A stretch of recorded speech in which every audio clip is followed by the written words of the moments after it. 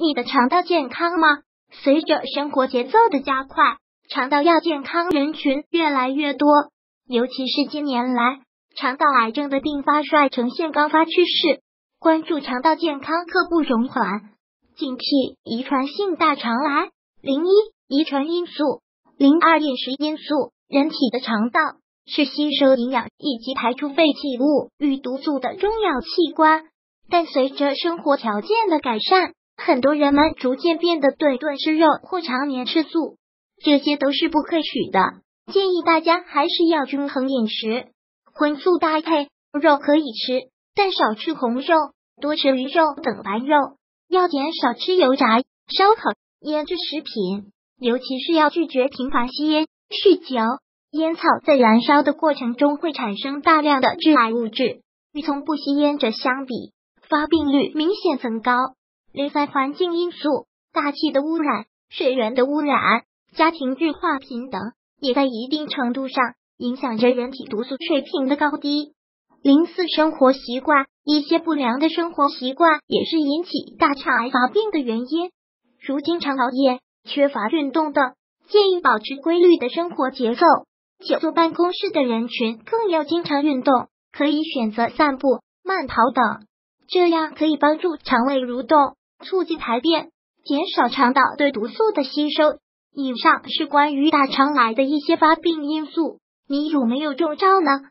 若是有的话，建议要赶紧改正，尤其是有家族史的朋友，一定要更加重视。那么。生活中有哪些人是大肠癌的高危人群？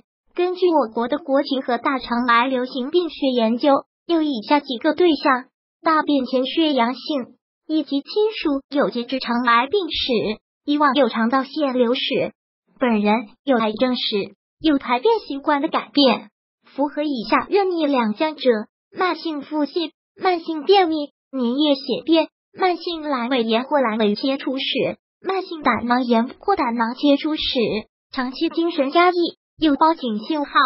肠镜是早期肠癌的筛查利器，发现大肠癌最有效的检查是肠镜。可是很多患者都因为怕痛或担心对肠道产生伤害等各种原因，而对肠镜检查望而却步，耽误病情。张教授表示，随着医学不断的发展，其实肠镜检查的设备和技术都在不断更新。可以说，肠镜检查对人体是没有伤害的，但毕竟是一种侵入性检查，所以在检查过程中会出现一些不适。但这种不适是大部分患者都可以忍受的，而对疼痛特别敏感的患者也可以选择麻醉下无痛肠镜检查。那么，肠镜检查有哪些需要注意的呢？首先要认真听取医生介绍检查的过程，消除思想顾虑。最后，肠镜检查也是会有并发症的可能的，但发生率是非常低的，约百分之零点一、百分之零点三。最常见是肠穿孔，其他的如肠道出血、感染等。除了肠镜检查，还有一些新的利器，如染色内镜、放大内镜，通过黏膜血管颜色深浅的差别来清晰显示血管走形的形态，弥补了普通内镜的不足。对早期黏膜病变、消化道肿瘤表面微血管形态模式及炎症性胃肠黏膜损伤等病灶的显示有较好的评价。息肉都会癌变吗？随着经济能力与生活水平的提高，人们越来越关注健康问题。很多报道指出，肠息肉是肠癌的前身，大部分肠癌都是由息肉逐渐转化而来的。但张教授提醒。其实息肉也分为肿瘤性和非肿瘤性。非肿瘤性息肉、肿瘤性息肉、警惕管状腺瘤、绒毛状腺瘤和混合型腺瘤，它们与肠癌发生密切相关，约百分之九十以上大肠癌发生与腺瘤相关，也与息肉的大小有一定的关系。直径小于一厘米、两厘米和大于两厘米的恶变率分别为百分之一。百分之十和百分之三十五，直径小于两厘米的绒毛状腺瘤，其恶变率为百分之十；大于两厘米的恶变率则高达百分之五十三，需要引起大家的注意。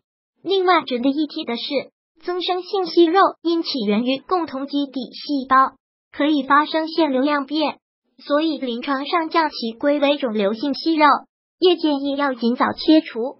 阿司匹林预防肠癌真的可靠吗？有报道称阿司匹林能预防肠癌，这到底是真的吗？薛教授介绍，阿司匹林是医疗史上三大经典药物之一。长期服用阿司匹林确实对降低结直肠癌的患癌概率有一定作用，但是并不适用于所有人群，并且阿司匹林存在的副作用也不少，引起耳鸣、听力下降。